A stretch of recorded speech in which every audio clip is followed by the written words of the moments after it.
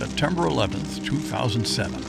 A catastrophic day for North Carolina's most famous outdoor drama. All the costumes for the lost colony reduced to ashes.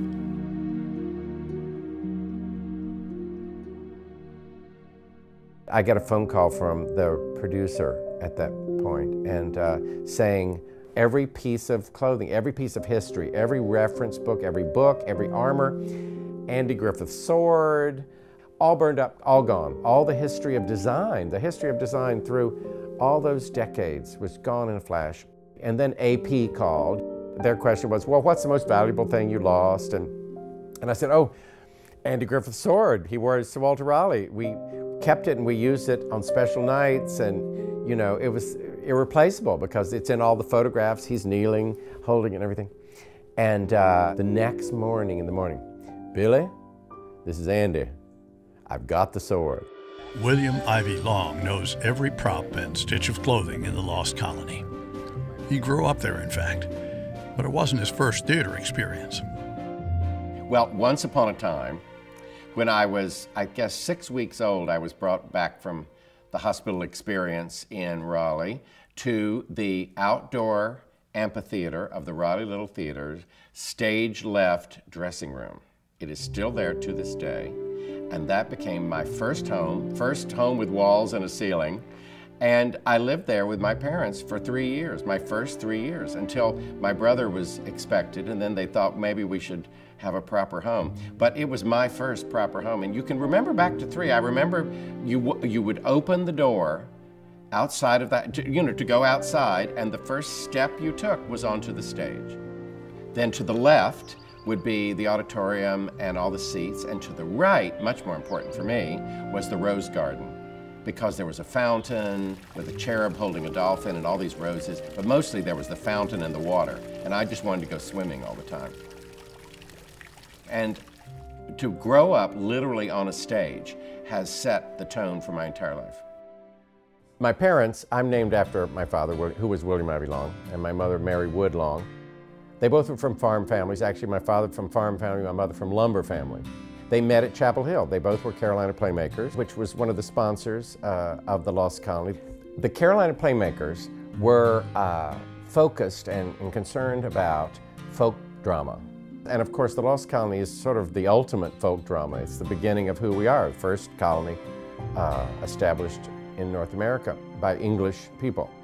My brother and I and my sister uh, have all been in the Lost Colony. We had to wait until we were eight years old, and then they deemed us old enough to be allowed to run around in the dark, barefooted, backstage with strange theater people. And then by 12, I was prop master. I was precocious. I'm a natural list maker. I'm a Virgo, born in August, so of course I'm organized and make lists. So of course, you know, prop master was the natural next step. But by 18, I was tech director myself. Then I went off to school at Yale Drama School, which is all about the plays, the play's the thing. I was a set designer. That's what I wanted to do. I, I was going to be the stage designer of all time. And I've taken only one course in costume design in my entire life. Isn't that crazy? Like all aspiring theater people, William felt the pull of New York City.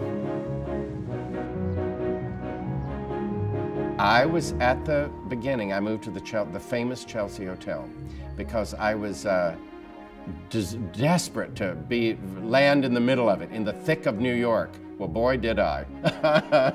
the famous, infamous Chelsea Hotel. I lived there for my first five years.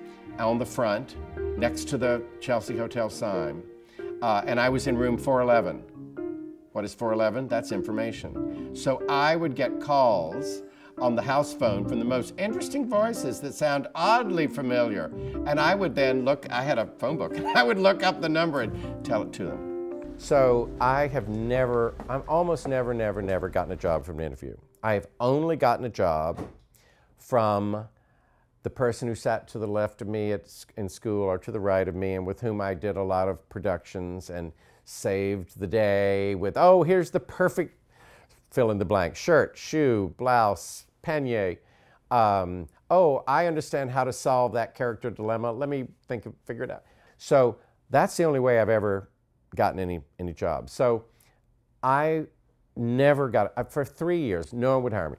Finally, I get a call. My a friend of mine had a job as a set designer for Inspector General at the Circle in the Square. And the late, great, he just passed away, Liviu Ciulei, Romanian director, was directing him. And he said, Oh, get me someone to do the costumes. So she said, My friend, I've got a friend. He said, Fine, let's just start work. So I didn't even interview. I just came in with my portfolio, so proud. Oh, look, I, maybe you get this job. And he just give, started giving me notes. So that's how I got my first Broadway show, just like that. Oh, I've got a friend.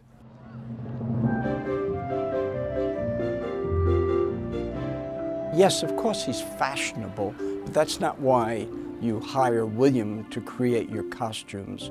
You hire him because he understands he's designing for character, for theme, for plot, and of course, uh, he's sexy and fashionable. But it's the other stuff that comes first. How do you tell the story? And William is extremely helpful uh, in, in carrying his weight in telling the story that the author intended. I, I start by reading the play and researching the period. And you see, and oh, it's, it's high, high style. It's high style. It's rich people in Paris who go out the weekend to misbehave. And of course, it all, all hell breaks loose. And so this is 1959 uh, Balenciaga. These are because they do dress for dinner. It's called Don't Dress for Dinner, but they do dress for dinner now. Ha ha ha. Anyway, uh, look at these reference pictures. I always do this beforehand and surround myself with walls and walls of these research pictures. But John, the set designer came, and you see his original set was very beige, but after looking at how well these colors work with everything, um, he brought in more of this burnt umber, this very light burnt umber, just to say. And I peopled them after the set designers created the world. Who are you? Me? Yes, you. It's her. Who? You know who? I haven't the faintest idea. Who? You don't know who. Why do you think I was going bananas back here? Trying to keep warm? I didn't know what you were doing. You mean it isn't her? Who? Of course it isn't her. Who? Well, if it isn't her, who is it? Who? That's what I'm trying to find out. Who are you? I'm his girlfriend. And I do my first sketches after the research like this. These are called thumbnails. Here the men going, here's the husband, the lover, and the husband of the cook. And I show them in order, and then I color them in. And you can actually, when you see these bigger pictures, you can see that I've really sort of solved most of the proportion and color problems right here. And here are the ladies, and the same thing. Here's the mistress, the wife, and the cook. So then I do her big ball gown, you see blue. I have this theory that ladies of the house either dress to stand out from their environments or to blend into it.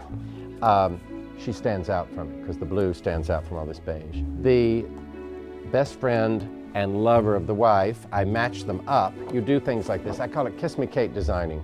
See, they're, they are matched because they are the ones having an affair at the beginning. This is not in the script. This is what I proffered to the production. Well, the day begins with the staff coming at 9. So I've prepared all the projects and their notes, really annoying notes on everyone's desk. And then we're off and running and the phones start ringing and all the projects call, I need this, I need that. So there's a lot of technical support work that's done first off around the globe, whatever country Chicago is touring or something else, our producers, Hairspray, they're still touring all around. And then the, the actual, that day, uh, begins. And sometimes people come for fittings, sometimes I go to fittings. Then, if it's rehearsing in the afternoon, the latest show, I go and have a wig fitting, or they want to show me a new dance number and why the shoes are not working. And I do that, and then the evening performance. I'm supposed to be at least two, at two shows in previews tonight. so I will go back and forth. And then I go for notes afterwards. So I'm done by about 1 o'clock, 1 a.m. And then I get up at 5. Now that's not all the time. That's, that's, that's on a good day. I'm happy to be working. Seaboard, North Carolina, up in Northampton County, is about as different from New York as you can get. But it's William's family home, and it tugs at him. As the town's fortunes have declined, William has stepped in, putting in a health clinic, buying the old school where his father learned playwriting.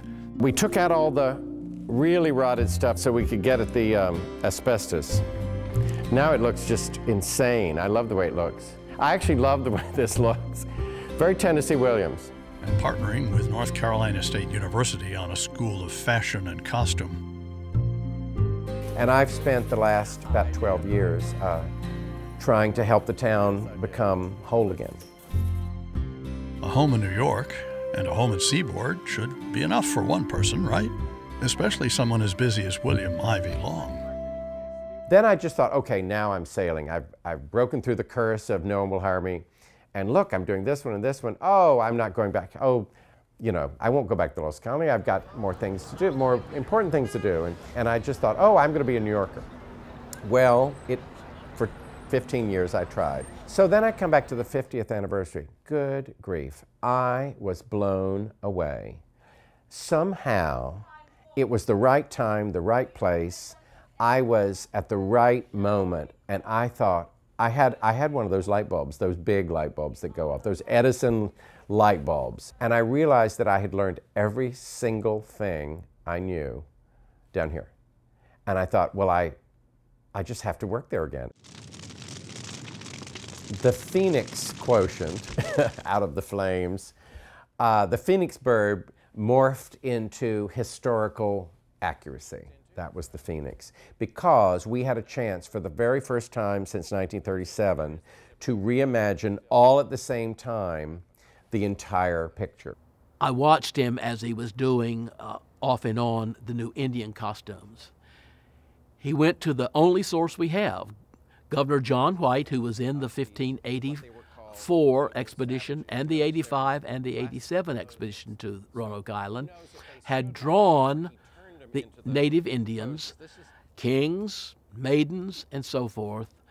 And William Ivey took those sketches of John White and interpreted them so that they could be used for years. We never have a costume that is made for one year. 10 years at least they've got to be worn. And that was a real, uh, a real change in the colony when he did that. I am optimistic that the lost colony will survive. There is a story being told here, and it goes to the root, hokey, uh, corny, uh, grassroots, all those seemingly negative terms. Guess what? That's what hits the heart. Franklin Roosevelt came to the opening or came to Virginia Dare's birthday for a reason. He showed up and said, This is important story to tell. We're still doing it. It, uh, it engages one's connection across the decades and the centuries to man striving to, you know, be the best he can be. Dreams come true, dreams fail, but you still stick with it. I mean, these are great, great themes, and we're still doing it. Now more than ever, we need to believe we can conquer this. It's a wonderful story, it's a true story, and it's our story.